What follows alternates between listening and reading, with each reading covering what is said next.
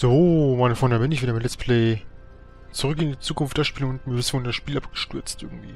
Naja, ja, geht jetzt weiter. Ja, etwas niedrigen Auflösung. Ich hoffe, das äh, ist jetzt nicht weiter schlimm. So. Tourismusministerium. Äh, Haarschneideministerium. E. Braun. Himmel für alles ein Raum. Hoch, was war das? Okay, hier geht's rüber. Wo steht Biff denn? Biff Tannen. Ah, da. Biff? Hey, du bist der Jüngste von George und Lorraine. Martin, stimmt's? Was, du kennst mich nicht? Nur vom Hören. Drei Monate in Folge Brown Kadett des Monats. Beeindruckend. Bist du am Bürger Plus Programm interessiert? Was? Wer? Hör zu, Biff. Das Auto, aus dem du ausgestiegen bist. War da Doc Brown drin? Ha, Doc! Das sollte sein neuer Spitzname werden. Aber ja, das war Bürger Brown. Was für ein beeindruckender Mann. Wie konntest du ihn treffen? Er scheint so beschäftigt. Das stimmt, Martin. Bürger Brown ist ein sehr, sehr beschäftigter Mann. Aber glücklicherweise, äh, unglücklicherweise bin ich ein Sonderfall. Weißt du, Martin, ich war ein schwarzes Schaf. Ein echter Mistkerl. Ich weiß nicht, warum du das zu einem Sonderfall machst. Was soll ich sagen, Martin? Ich hatte immer Ärger. Zu viel Ärger. Sei es mit dem Alkohol, den Partys, den Frauen. Sogar meine Hunde machten einen Haufen Ärger. Haufen, verstehst du? äh, ja. ja. Was hat das mit Bürger Brown zu tun? Nun, nachdem ich so viele Schwierigkeiten gemacht hatte, wurde ich Bürger Brown vorgeführt. Man stellte mir ein Ultimatum. Bürger Plus oder Knast. Oha. Also, all die schlimmen Dinge, die du getan hast. Ach, ich denke wirklich ungern an die Vergangenheit zurück. Aber gut, wenn es dir bei deiner Entscheidung zum Bürger Plus Programm hilft. Du sagtest etwas von Alkohol? Bier, Rum, Whisky, Bowle, das habe ich alles getrunken. Nicht nur getrunken, ich habe es auch nach Hill Valley geschmuggelt. Ganz der Vater, nicht wahr? Für so einen Spruch hätte ich deinen Vater umgehauen. Aber ja, schätze, ich bin in Papas dreckige Fußstapfen getreten. Du hattest Ärger wegen der Hunde? Du hast doch keine Hundekämpfe veranstaltet, oder? Nein, so schlimm war es nicht. Ich hatte einfach viele Hunde. Was ist daran falsch? Nichts. Außer, dass sie die Nachbarn die ganze Zeit wach hielten, alte Leute ansprangen und alle Eichhörnchen im Park gefressen haben. Ich schäme mich wirklich dafür, dass meine unerzogenen Hunde für das Hundeverbot in Hill Valley verantwortlich sind. Oha. Du klingst nicht sehr beschämt. Doch, das bin ich. Sehr, sehr beschämt. In was für Schwierigkeiten bist du mit Frauen geraten? Waren das Prostituierte? Nein, nein, nichts in der Art. Ich war nur nicht immer sehr diskret, was Zärtlichkeiten angeht. Was? Austausch von Zärtlichkeiten in der Öffentlichkeit, Martin. Knutschen und so. Das ist verboten? Oh ja. Oha. oh Gott. Du hattest echt Ärger wegen Zärtlichkeitsaustausch? Na sicher. Die Browns sagen immer, private Erregung sollte auch privat bleiben. Oder vielleicht ist es auch nur Bürgerin Edna, die das sagt. Oha, jetzt weiß ich Bescheid. Es ist Edna, natürlich. Ach ja, und sie hasst ja Hunde, deswegen. Dann gibt es in Hill Valley keine Hunde mehr? Genau. Bürgerin Edna sagt, dass sie Krankheiten verbreiten und Schuhe stehlen. Also, dann gibt es keinen Fusel in Hill Valley? Nein. Sicher versucht hin und wieder jemand einen reinzuschmuggeln, aber Polizisten wie Officer Parker da drüben fangen sie früher oder später. Gott, ist ja schlimm. Äh, wechseln wir das Thema. Danke.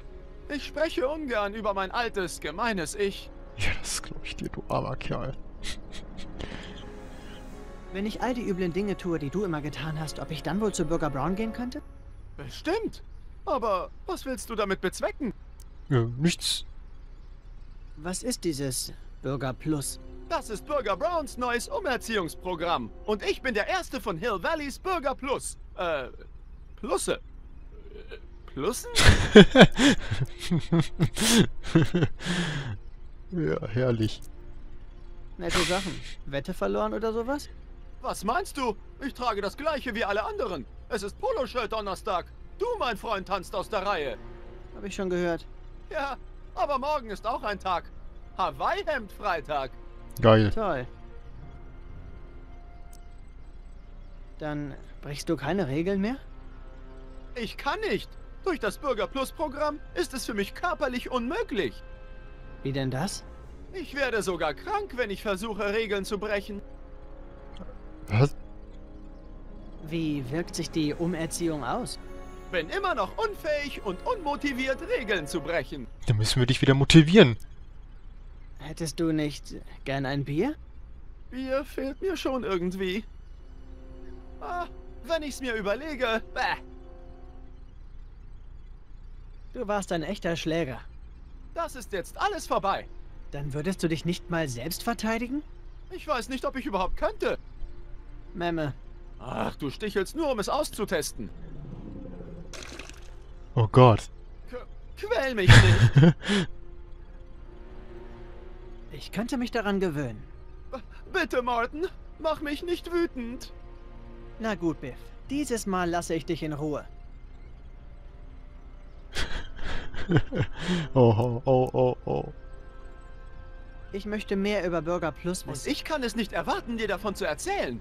Habe ich die klasse Digitaluhr erwähnt, die man bei dem Programm bekommt? Wow. Echt heftig. Was muss man tun, um ein Bürger Plus zu werden? Zuerst bewirbst du dich. Sie machen eine medizinische Untersuchung und du musst einen Stapel Verträge unterschreiben. Klingt jetzt schon langweilig. Dann bekommst du einen Termin bei Bürger Brown. In etwa zwei Jahren. Zwei Jahre? Er hat viel damit zu tun, sich um Hill Valley zu kümmern. Er ändert seine Pläne nur dann, wenn irgend so ein Irrer herumläuft und üble Sachen anstellt. Zum Glück passiert das praktisch nie. Okay. Du hast gesagt, man bekommt eine Uhr. Oh, ein echt tolles Teil. Sieh dir nur diese topmoderne Uhr an. Sie hat alle möglichen Spezialfunktionen einprogrammiert. Ich habe nur noch nicht rausgefunden, wie man die Zeit einstellt. Aber ein kluger Junge wie du schafft das sicher problemlos. Ja, natürlich. Was ist denn eigentlich der Sinn von Bürger Plus? Einem anständigen Bürger wie dir fällt es vielleicht nicht so auf. Aber die Hypnotherapie hilft dabei, den Drang zum Brechen von Regeln zu unterdrücken. Wow, wow. Hypnotherapie? Ja klar, Marty. Dadurch kommt die Gehorsamkeit von allein. Gehorsamkeit? Ist das so eine Art Gehirnwäsche? So könnte man das nennen. Alle schmutzigen Gedanken werden dir aus der Rübe gewaschen. Oha. Das äh, ist doch freiwillig, oder? Ja, das Pilotprogramm schon. Aber irgendwann wird es Vorschrift für alle. Vorschrift? Bist du verrückt? Nein, ich war verrückt. Doch dank dem Bürger Plus Programm bin ich jetzt wahrscheinlich der vernünftigste Typ in Hill Valley. ja, natürlich. Na gut, reden wir erstmal nicht mehr über Bürger Plus. Okay. Oh, nicht traurig sein. Bis später, Biff. Tschüss, Martin.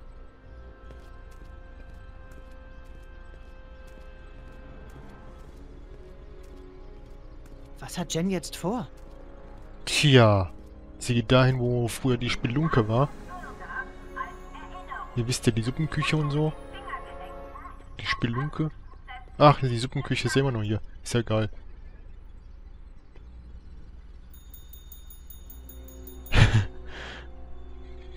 Hey, kannst du nicht lesen? Oh, du bist McFly.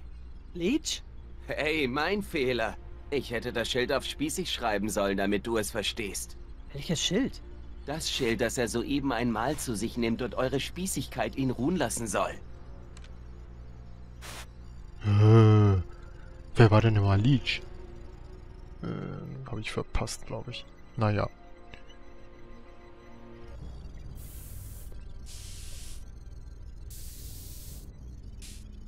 Ah, okay.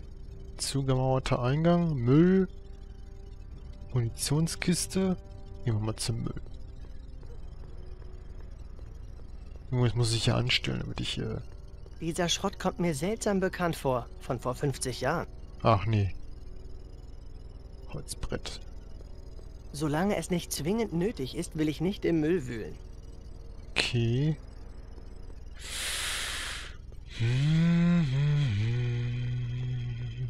Sie haben den Eingang zur alten Tenbar zugemauert.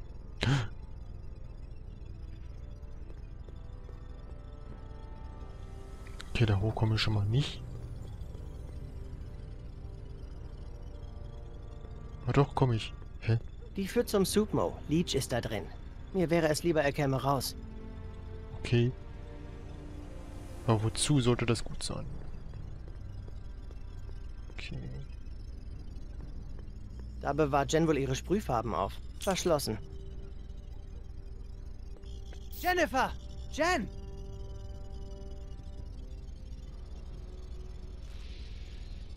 Hast du ein Problem?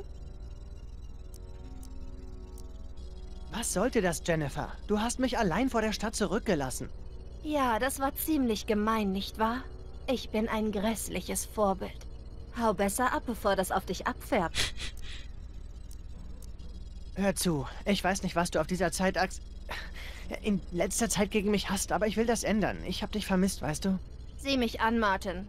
Sehe ich aus wie ein Mädchen, das mit dem Präsidenten der Junior Brown Brigade abhängt? Ich weiß zwar nicht, wovon du redest, aber ich muss zugeben, ich mag dich so. Oh, Kotz. Verbringst du etwa deine Zeit mit dem Beschädigen öffentlichen Eigentums? Wage es bloß nicht, mich zu verpfeifen, sonst stopfe ich dir die Spraydose in. Nein, nein, du verstehst mich falsch. Ich äh, würde auch gern ein paar Regeln brechen. Du? Was weißt du über die Haltung gefährlicher Tiere? Du kennst also meinen neuen Freund? Sei nicht so verbissen. Weißt du, wo ich verbotenes Material auftreiben kann? Denkst du wirklich, ich würde illegale Substanzen besitzen? Ähm, irgendwie ja. Und ich denke, dass einer wie du eine wie mich verpfeifen würde. Nächstes Thema. Ach Mann. Das Zärtlichkeitsaustauschverbot in der Öffentlichkeit nervt. Hey, du sprichst von meinem absoluten Lieblingsgesetzesverstoß. Ach, Nicht mit dir. Oh. das Gesetz gegen das Küssen in der Öffentlichkeit ist voll Kacke, was? Ja, die ganze Stadt ist voll davon. Was hast du vor? Protestieren, was sonst? Lass uns in der Öffentlichkeit küssen. Nein, aber lass es uns rumerzählen. Ist Graffiti-Schmiererei nicht ein grober Verstoß? Möchte man meinen. Aber nachdem Bürger Brown vor ein paar Jahren alle Gebäude mit einer Teflon-Polymerbeschichtung versehen ließ, ist Graffiti-Spray nur noch ein Verstoß zweiten Grades. Stell dir vor. Wenn ich es mir recht überlege, will ich nicht noch mehr über das Brechen von Regeln erfahren. Memme. Okay. Leech and the Wooshbags? Nie davon gehört. Nein, du sicher nicht. Auf deinen geliebten Smooth Jazz-Sendern wird selten Punk gespielt. Smooth Jazz? So ein Spießer bin ich echt nicht. Nicht mal in einem Paralleluniversum. Gib mir mal eine Sprühdose. Ich muss dringend was sprühen. Niedliche Bäumchen? Kauf dir einen Farbkasten. Auf meine Wand sprühst du nichts. Also, Jennifer, Aha, was denkst du von mir? nichts. Hm. Mal im Ernst, was hast du gegen mich? Ich bin doch recht beliebt, oder? Sehr beliebt. In bestimmten Kreisen. Welchen Kreisen? Idioten. Marty McFly ein Idiot? Unmöglich, er kann kein Idiot sein. Jeder, der von sich selbst in der dritten Person spricht, ist ein Idiot.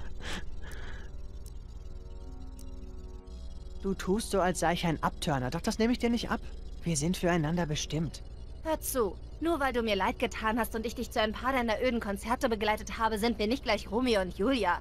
Sicher, du bist ganz süß. Aber du machst so einen auf Einserschüler. Einserschüler? Ich bin beschäftigt. Mit interessanteren Dingen. Und Jungs. Gehst du mit einem anderen aus? Ich wette, ich bring dich dazu, ihn zu vergessen. Tut mir leid, Martin. Aber du bist aus dem Rennen. Meine Eltern, Was ist mit ihnen? hältst du sie für normal? Normal für Hill Valley Standards, ja. Mit anderen Worten, nicht mehr zu retten. Tut mir leid, dass ich dir das sagen muss. Hast du dort Neues von Biff Tannen erfahren? Er ist so... Still? Ja, das macht mir Gänsehaut. Mir auch. Wenn das der Zweck des Bürger Plus Programms ist, bleibe ich lieber ein Bürger Minus. Was weißt du über das Bürger Plus Programm? Nur das, was im Fernsehen kommt und im Radio, in den Zeitungen und was die ganzen Beschallungsanlagen in der Stadt ausposaunen. Alle sollen mitmachen, das soll uns zu glücklichen und zufriedenen Menschen machen. Aus diesem Grund halte ich mich davon fern. Hill Valley ist total krank, aber ich weiß, wie ich das wieder in Ordnung bringe. Du? Was? Ich werde mit Bürger Brown sprechen und ihn dazu bringen, alles besser zu machen. Dieser Plan klingt ganz nach dir, Freak. Bürger Brown ist doch kein schlechter Kerl. Du verschwendest deine Zeit, Martin. Ich nehme dir das alles nicht ab. Nein, wirklich. Dieser verrückte Polizeistaat war ursprünglich gar nicht seine Idee. Wenn ich ihn überzeugen kann, wird das ein Ende haben. Weißt du, langsam tust du mir fast leid. Ich werde Bürger Brown bald treffen. Hey, kann ich mitkommen? Was denn? Du willst auch zu Bürger Brown? Ja, vielleicht schenkt er mir ein bisschen Herz und dir ein bisschen Hirn. Fragen kann nicht schaden. Ach ja. Nochmal das gleiche. Gehst du mit einem anderen aus? Ich glaube, deine Fa... Mist! Ja, okay. Gib mir mal eine Sprühdose. Ich muss dringend was sprühen. Niedliche Bäumchen? Okay. Gib mir mal eine Sprüh... Ähm, Sehen wie Strafzettel aus. Muss ich Strafe zahlen oder so? tja, das weiß ich nicht. Vielleicht als Beweis, dass wir Straftäter sind. Da steht mein Name drauf. Damit können sie nichts anfangen. Ach, schade. Oh, jetzt ist auf... Da steht mein Name Nein. drauf. Hm, ich lasse mir mal einen Hinweis geben. Hm, ja, hab ich schon.